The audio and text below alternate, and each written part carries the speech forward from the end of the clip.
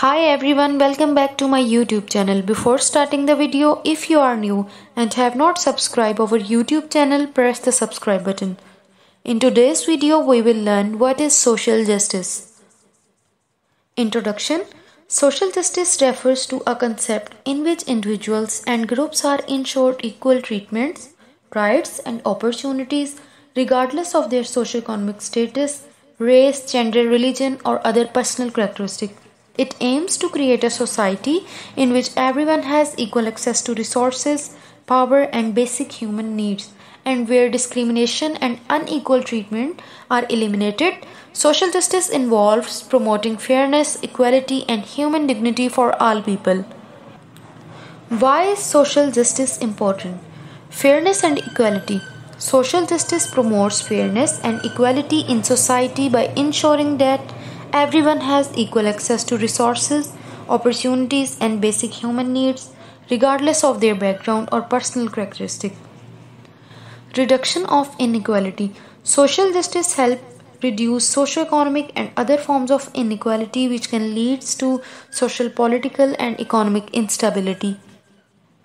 Promoting human dignity. Social justice recognizes the inherent dignity of all people and seeks to ensure that everyone is treated with respect and dignity, regardless of their background or circumstances. Fostering social cohesion. By promoting fairness, equality, and respect for all individuals, social justice can help to foster social cohesion and a sense of community, reducing division and promoting cooperation. Building a more just society. Social justice is an important step towards building a more just and equitable society where everyone has the opportunity to thrive and reach their full potential. Four key principles of social justice. Number one, equality of opportunity. Traditional justice guarantees equal rights before the law and equal opportunity to all people. Social justice advocates also believe this is necessary but that we also need further steps and protection to achieve true equality. Number 2. Equity of outcomes.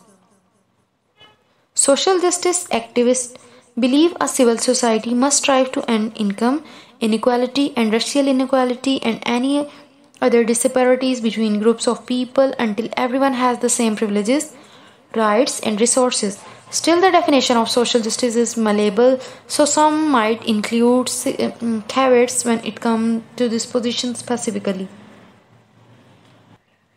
Number three, human rights. A society's social development depends in part on its recognition of human rights for all groups of people, regardless of their race, ethnicity, sexual orientation, potential disabilities, or other identifying attributes. Human rights enshrine the innate dignity of each person in the eyes of the law as well as in those of culture in general. Number 4 Inclusion To achieve social justice, adherent of philosophy believe all human beings need a seat at the table. This ensure everyone can help drive the decision making process as to which social change should take hold in society. Thanks for watching. Don't forget to like, comment and share. Subscribe for more videos.